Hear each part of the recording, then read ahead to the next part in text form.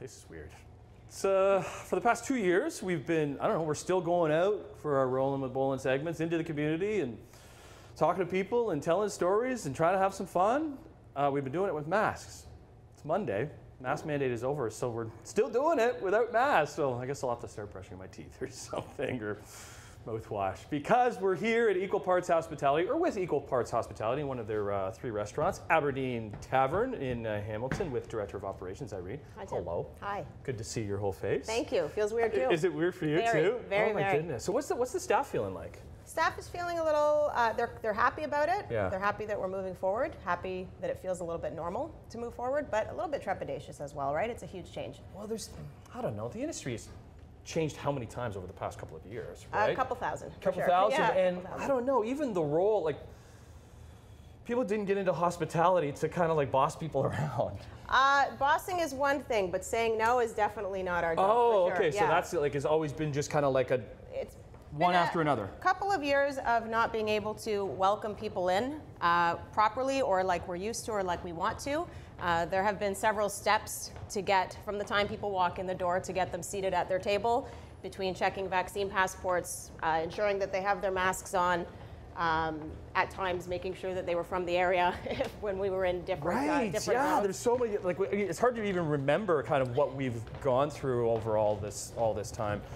It is. Is there scar tissue there with you guys and the staff? No, we were able to slap it right you off. it- Yeah, of course there is. Of course there is. I think we're all we're all going to work really hard to get used to this new normal. We're all very excited. So there's scar Yeah. tissue, but I think the excitement is a lot more is a lot more there with our teams than anything else for sure. We can't wait to just get back to what we do. There was that whole thing about like even I don't know people leaving the hospitality industry.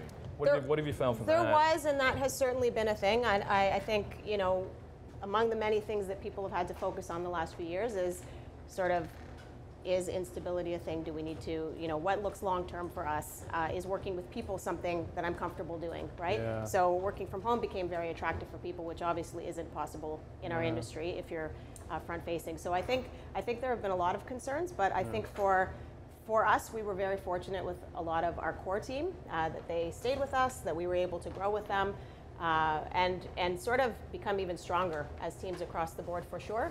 This guy's still here. This guy's still here. He and I are kicking, still kicking. What's his title now? He said so many titles. No, no, no, don't ask. Just give me a new one. Oh, Yeah. I always give him a new title. Yoda. Yoda's fine. Yoda, But yeah, okay. that's it. Uh, I always go executive chef John Forcier. Director that- of culinary. Oh wow, stepping up his game. Ooh, fancy. And he always brings uh, some fancy stuff for the camera, which I which I really enjoy. So if we can, let's hang out for a bit. Let's, yeah. Let's let's I don't know celebrate Let's celebrate. because it's it's back, right? And we're celebrating with some of the delicious food here at Aberdeen Tavern. I know you have two other spots. You have the Diplomat and the French down on King William, so We maybe do. we'll visit one of them too. But we'll come back and uh, with director of what was it? culinary. Culinary, John Forcier, on Morning Live. Happy Monday, everybody. Happy Monday, Tim. Happy, happy no mask Mm-hmm. to uh, to you as well. It's weird, but it's good to be back in a restaurant. My good pal John Forcier, who is the director of culinary with uh, Equal Parts Hospitality in one of their three spots, Aberdeen Tavern. You're always concocting beautiful dishes and showing us how you're doing it. Uh, what do you got in front of us this morning? So this is our update on the old butternut squash ravioli. So we've done a butternut squash puree around the outside. The filling is now a brown butter uh, lemon ricotta in the middle of the agnolotti. Some crispy fried Brussels tossed in a vegan maple aioli. You're really starting to be getting me to like Brussels sprouts. it's, it's, it's, it's taken some time, Johnny boy, but it's uh, it's coming. Well, I mean, you know, cook them in butter, cook them in oil, preferably, you know, deep fried in oil or butter. Deep Fry is the key. Very, very big change from how I would assume both our moms made them, certainly mine. Yes, definitely. Love you, mom. Um, is that just what you want to add some color? Uh, so it's acidity as well. It's a fairly rich dish, uh, but we chose the, we knew we wanted pickled onions. We chose the pink red onion specifically for the color. Okay. So part functional and part visual as well. Okay, so now that the mandates are done, what's it?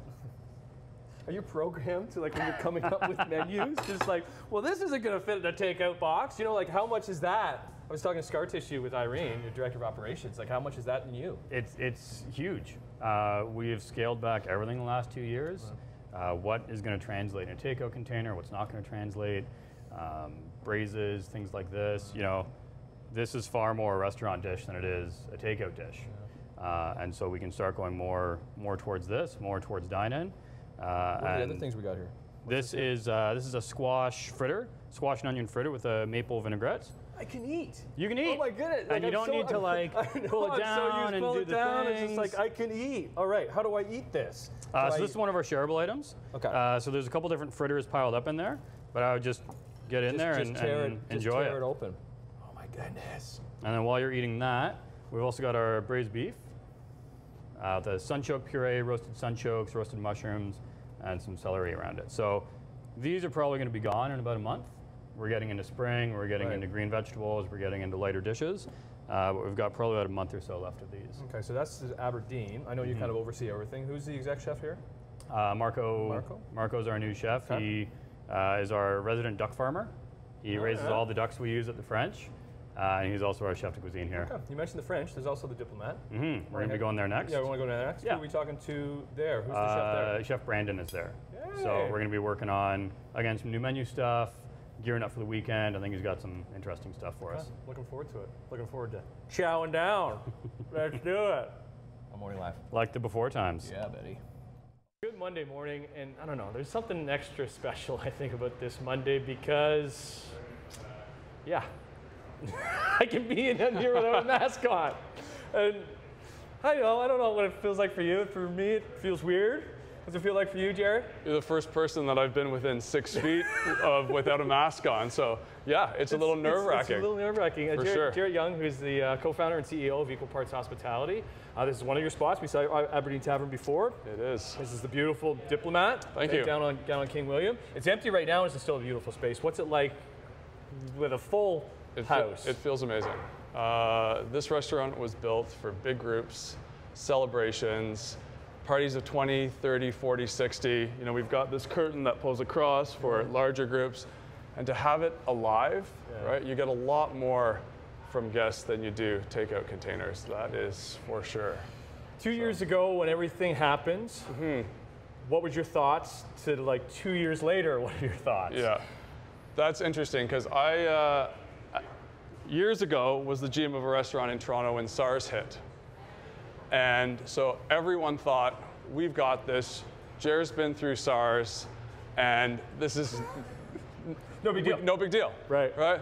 Well, SARS was three weeks, Yeah. and we're now two years into this. So, yeah, at first I was like, don't worry, we got this. I know it, what to do. Yeah. And then quickly realized that this was a completely different ballgame. We don't and know. Here we, we, don't. are. yeah, we don't two know. Years, we don't know what's two going years on. later, right? We've been talking off camera. You had you had something uh, modified hospitality. Yeah, that's what we've been doing for two years. Um, we've been trying to build emotional connections with our guests when they come in for takeout. You know, we've done everything from holiday feasts uh, to takeout to special occasion dining, all of that stuff. But, you know, everything is through a, a COVID lens, right? And we've changed points of service, points of detail. We've gone from streamlining all our menus to streamlining our cocktail list just to survive. So we've been in survival mode for two years now, and now we're asking everybody to switch into thrive, thrive mode. So be creative. Is that going to take time? 100% it's going to take time. We've been asking them to think about surviving the next two years, and now we're asking everybody to be creative and hospitable again, and to not worry about being so close to our guests and shaking their hands and giving our regular guests a hug, whatever that case, case may be. So it's going to take a, a good while, I think, uh, and our guests as well, right? We've been we've been telling them to be afraid of one another, um, to not sit at a bar beside somebody you don't know. So all of us are going to have to kind of re-socialize what being in restaurants are. Nonetheless, super super exciting for Yeah. sure. Um, but you know, but, it's but that's, but some that time. is a very honest opinion because I don't know. You think you you turn the lights on and it's back to normal. Yeah, it's show business, I guess, to a certain extent, but we're dealing with human behavior.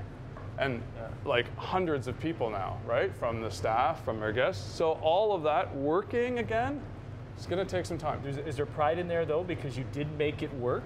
Because you do have three spots, and I don't know. Maybe two years ago you didn't think that you'd be able to come through with all of them still. Yeah, I. I- I don't know if there's pride, but there's certainly an gratitude. You know, we could have not made it through this if we didn't have loyal guests wanting to get takeout from us.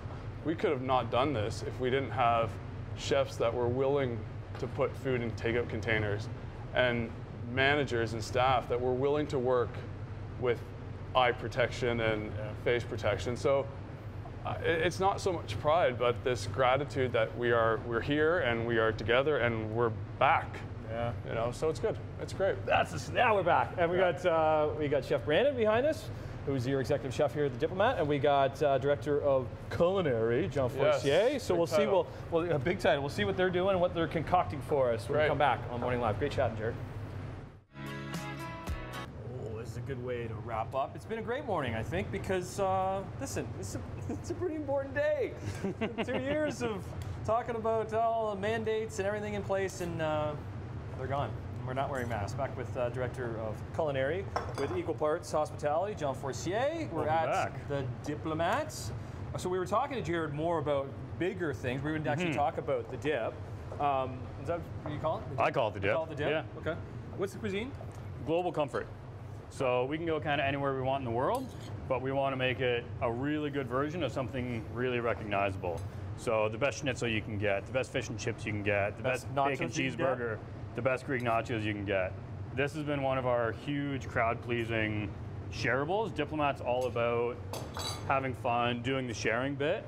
So you get a table together, they get some bread knots, they get some bocconcini arancini, they get some Greek nachos. It's this big, fun, sharing experience. Uh, and it's, it's a really fun, lively room uh, when it fills up. What kind of chips are in there?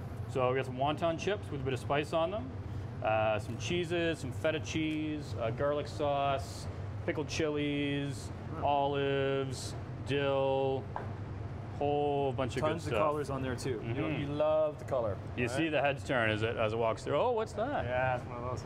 Uh, who's this hardworking man beside you here? This is our uh, new chef de cuisine here, Brandon. Brandon, what's up? He's man? been How with are you, buddy? us a little bit uh, close to a year now.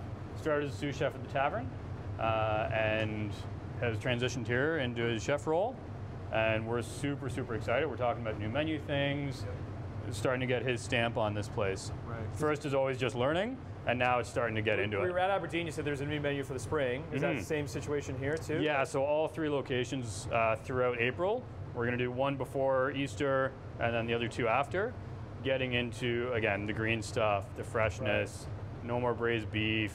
Let's get some nice, delicious, like fresh seeing- things. you love some color. Like that pop's nice too. Like what's Mhm. that one? What's that one there? So that's our salmon crudo, Okay. uh, fermented pineapple ponzu, uh, some cucumber, some pineapple, uh, just a nice, fresh, clean dish. That's more on the appetizer side, and then lots of shareables. A lot of shareables. Yeah. Right. Big event space. If you want to get out and Mhm. I don't know, enjoy with friends and family or whoever, then um, good spot for it. Yeah, great for events here. You know, we'll book out one side of the dining room, have a normal service there, party of 50 on this side. You can do canapes parties, you can do plated dinners. Uh, last Sunday, we had 150 people show up after the NHL Classic, and it, it was it was You were able alive. to It was wonderful in here. Okay. So Can I ruin this? yeah, go for it. Let's ruin this with a nice. There's no point crunch. making it if- if you don't ruin it. Right. Good to see you, buddy. Good to see you. Okay. Uh, cheers.